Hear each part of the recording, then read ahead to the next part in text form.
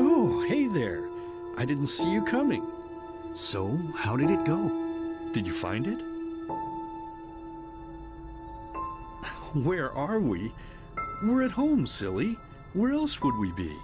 Just mommy, sister, you, and me. Now tell me, how did it go? Did you find it? No? Hmm, pity. Maybe you're simply looking in the wrong places. Did you ever think of that? Ugh. Oh well, who knows? Say, why don't you go inside and see if you can help Mommy with the cooking? The Creator was kind to us today and sent a big fat elk right in front of my bow. All right?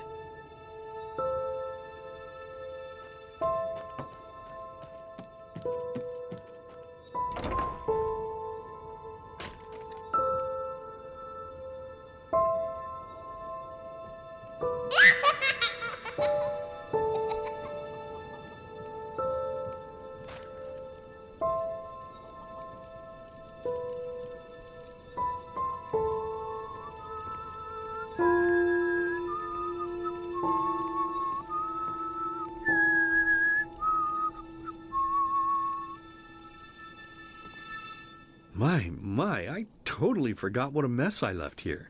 But I was right, wasn't I? A real gem we've got here. Well then, let's waste no more time and get to it, shall we? What? Now, when you look at that, I totally forgot about them. They're dead, don't you remember? You murdered them back then, both of them. But hey, no use crying over spilled milk, right? At least this means there's more meat for the two of us. You still remember how to do this, right? First, off with the skin. Slice up the belly, then out with the entrails. I'll look for a nice sharp knife in the meantime to cut off the head. I don't think either of us wants to eat that, do we?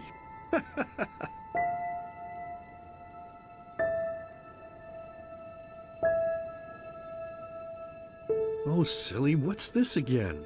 We both know that's a lie. You did it. I remember it all. First, you set this horrible fire to your sister's crib. She screamed and screamed, and Mommy heard it, but when she finally got there, nothing was left of her but burnt flesh. And. Oh gosh, do we really need to go through this again? You know how sad it makes me when you do this. You killed them, period. No matter how often you tell me you didn't, it changes nothing. You hear me? Nothing. Now please, let's start cooking. I'm so bloody damn hungry. Oh, by the Creator's name, why are you telling these lies? Isn't it enough that you murdered us? Do you really have to bother me over and over with your stupid, pathetic, and pointless whining? You know, sometimes I wish the Creator would have made me just a little less merciful. Just a little less pious. Because then I would have realized that you were tainted by sin long before any of this had ever happened. And instead of raising you, feeding you, and loving you like a father does, I would have put you in the horse trough right after you were born. Yes, I should have killed you. I should have just killed you. Just like you killed us. And now, you think you're safe because we're all under the earth, don't you? Well, listen up, my child. You are wrong. And do you know why? Because the dead don't forget. Do you hear me? The dead don't forget. Now enough of this useless chatter. I'm bloody starving. Bring me the meat, you spoiled brat. Bring it to me. Bring me a nice crisp piece of meat.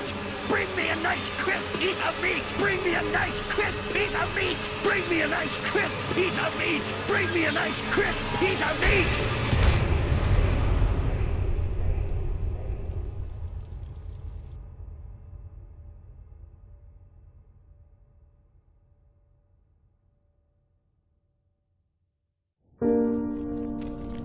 Let's begin with a question. It might sound simple to you at first, but I pray you to think about it. What distinguishes a free man from a slave? For now, however, let us start this story where another one ended three years ago, with the death of the Lightborn. For 4,000 years they had reigned over this world, seven arcanists who, through their magic, had acquired eternal life. In a time of chaos, they gave mankind what they thought it needed most to be ruled over with an ironclad, fair hand. Within just one century, they united the shattered lands, and a single century later, their human origin was forgotten. They became gods, or lightborn, as they let themselves be worshipped as. Yet the longer they reigned, the louder the voices grew that accused them of tyranny. The loudest being that of Naranzul Arantheal. And he succeeded in achieving what was once thought impossible. He gathered an army, overturned the Lightborn, and gave back freedom to mankind. However, the price for this was high, because where there are gaps of power, fights erupt. As such, this world grew into what it is today. Shattered, riven, and broken into pieces.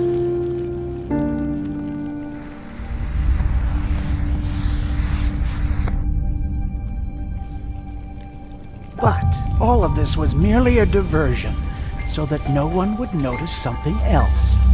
The death of the Lightborn had set something into motion, a clockwork, having long stood still.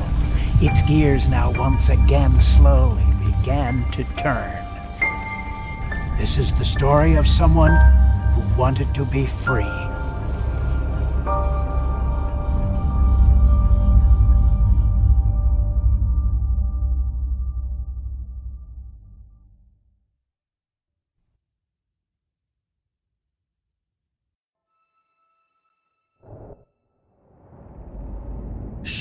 Hey, quiet, damn it. You wanna wake up the entire ship or what?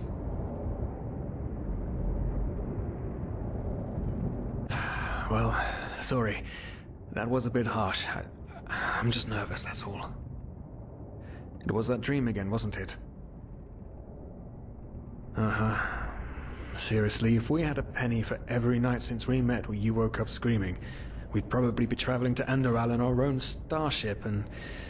Well, not like this. Some things never change, I guess. Do you ever ask yourself if maybe you blame yourself for all of this? For what happened to your family, I mean?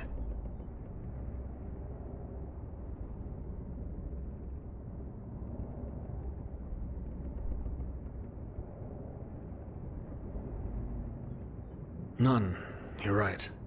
But... who knows? Maybe everything is gonna be different now. It's strange, isn't it? The way life sometimes goes? Now, if you had told me that a few weeks ago, I would have at the very least called you insane. But if the stories are true, there's no better place for a fresh start. Can you believe it? Apparently there aren't even any slaves on Enderal. It's amazing.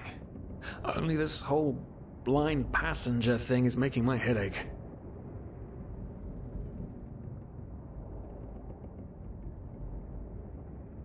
We're talking about 500 pennies here.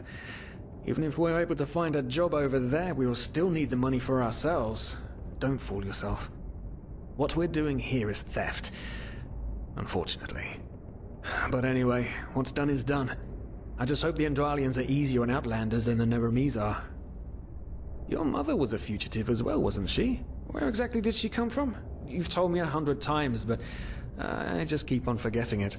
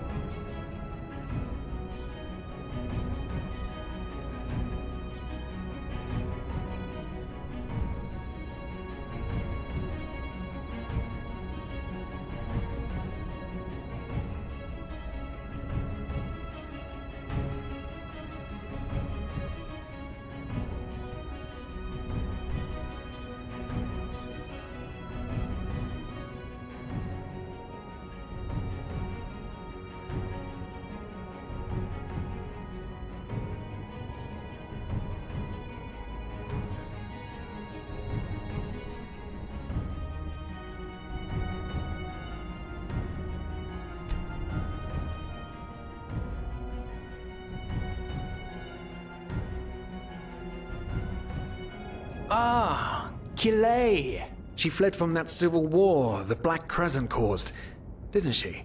Ironic, isn't it? Seems some parents pass on their fates to their children. anyway. Whew, I'm gonna hit the hay for an hour or so. It's your turn to stand. Wait. You hear that? Shit. Someone's coming! Women nowadays just don't want a man to court them anymore. That's the problem. I tell you, sometimes I long for the good old days, back when I could lift a skirt and nobody would bat an eye. Anyway, enough of the chit-chat. Now, where did I put that key? Oh, blazes, what do they want down here? The lamp! Quickly! Put out the lamp! Good. Now, quiet. Ah, Ah, smells like Vaughtier's balls down here.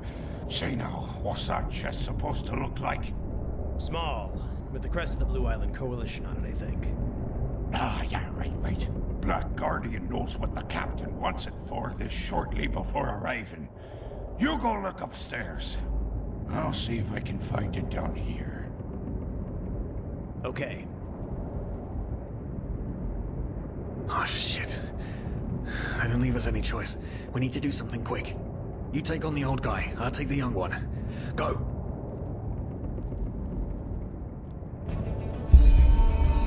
Wrong time, wrong place. Throw a hook to the face! Come on, dodge! You can do it!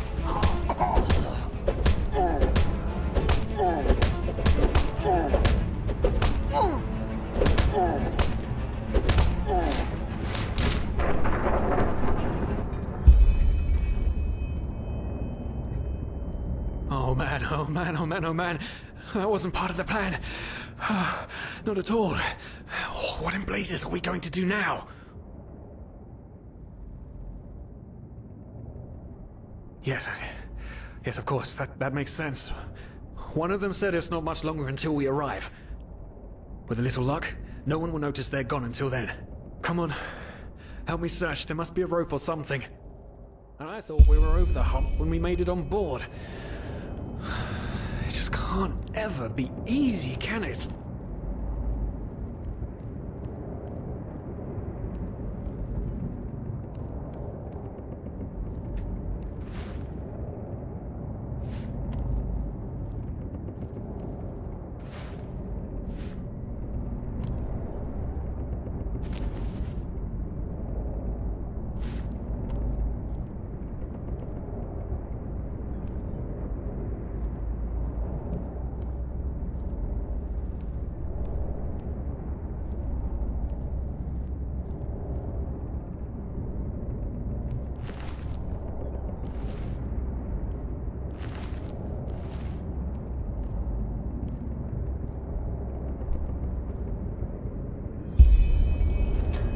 Poor lost souls.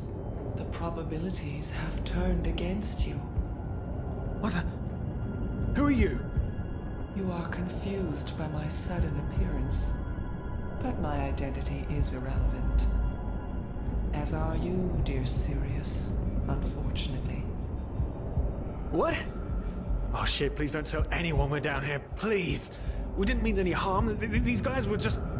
You ask that I not reveal you, for your intentions were not evil, and I believe you. But sadly, it's not compassion that rules my deeds. The first beat of a wing must happen. It is the only way the probabilities will fall into place. This is the way it has to be, the way it has been for eons. I am sorry. What the? Oh no! No! What are you doing? Please! Please don't leave! We, were, we just wanted to.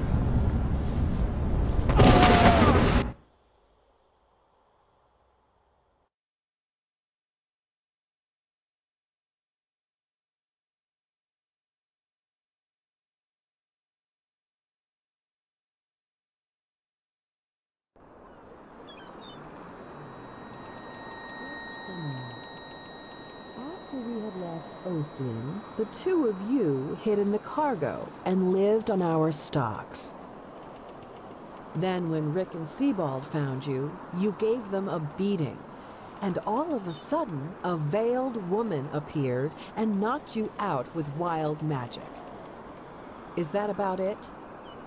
Yes, I, I know it sounds crazy, but it's the truth. Please, my dame, we. We didn't have a choice. You've got to believe us, the war. It, we, we just wanted a second chance, that's all. A second chance. Yes, I think I understand you. You wanted to start a new life in a new land. And as my ship is one of the only ships still sailing the route since the wars, you were simply forced to board without paying. Yes, we could work for you, you, you know? We could scrub the deck, peel potatoes, anything to pay off our debt. And as soon as we've arrived, Heartbreaking. How truly, truly heartbreaking. But let's be honest. You did have a choice. You could have signed on like all the others did, but you didn't.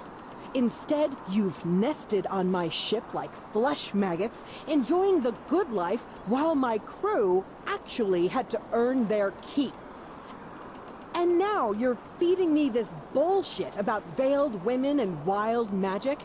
How stupid do you think I am? I know your kind. You are cutthroats, filchers. At least have the guts to admit it. What? No, no, no, no. You, you're wrong. We, please, just let me explain. I. I don't give a shit for your explanations. If there's one thing I hate more than cowards, it's people trying to pluck my heartstrings. You two are scum. And there's only one kind of punishment for scum on my ship. Pull him up, Ruger. But Captain, they... Do it. Of course, Captain. I'm sorry, lad. You should have stayed in their room. But. You, you can't do this. Oh, believe me, I can. no. I.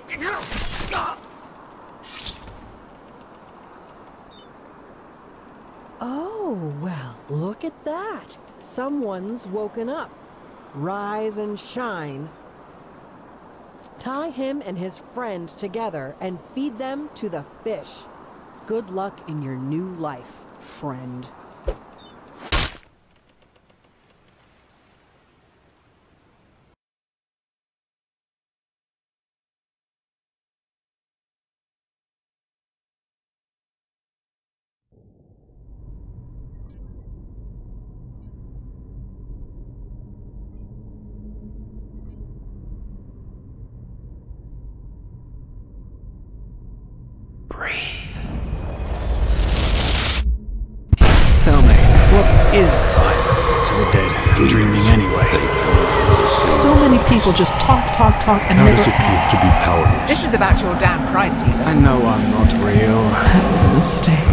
According to your definition. I know damn well I'm do.